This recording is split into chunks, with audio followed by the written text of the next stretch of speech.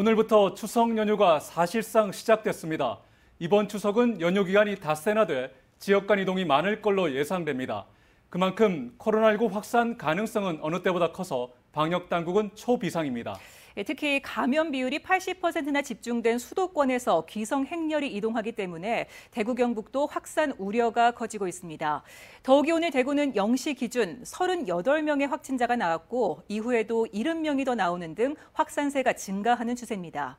추석 연휴 기간 코로나19에 어떻게 대비해야 할지 첫 소식 조재한 기자가 전해드립니다.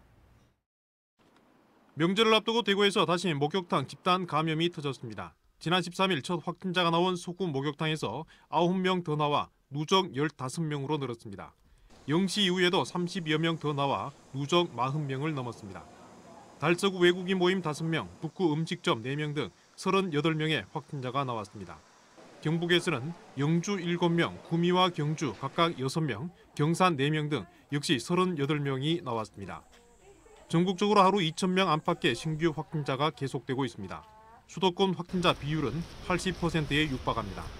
수도권 중심의 4차 대유행이 휴가철을 맞아 전국으로 확산된 지난 7, 8월 사태가 재현되지 않을까 방역 당국은 노심초사하고 있습니다.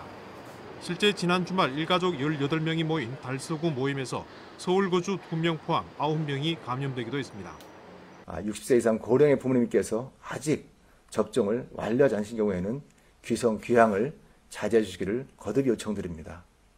그리고 가실 때에는 백신 접종을 완료하시거나 진단 검사를 받으신 후에 최소한의 인원으로 방문해 주실 것을 부탁드립니다. 연휴에도 방역은 쉬지 않습니다. 대구의 8개 구군 보건소 선별 진료소는 모두 평소처럼 정상 운영합니다. 코로나19 콜센터를 통해 사전 검사 문의와 상담, 예약을 할 수 있습니다.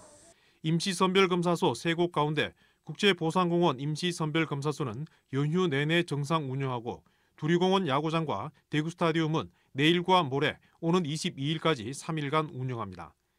동대구역 맞이 주차장에 마련된 해외 입국장 전용 워커스루도 쉬는 날 없이 운영합니다. 2차 접종까지 마무리하신 분들은 8명까지 모임이 가능합니다. 모이시더라도 방역 수칙을 철저히 지켜주시고 또 증세가 있으면 반드시 어, 검사를 받으시기를 권장드립니다. 코로나19만 아니라 갑작스러운 상황에 대비해 19개 응급의료기관은 24시간 진료를 합니다.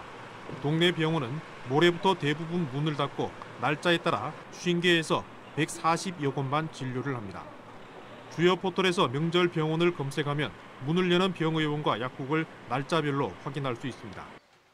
코로나 대유행 때마다 그랬던 것처럼 감염의 원인이 되는 모임은 최대한 자제하고 조금이라도 의심 증상이 나타나면 최대한 빠른 시간에 가장 가까운 방역 기관을 찾아 검사를 받는 것이 확산을 차단하는 최선의 방법입니다.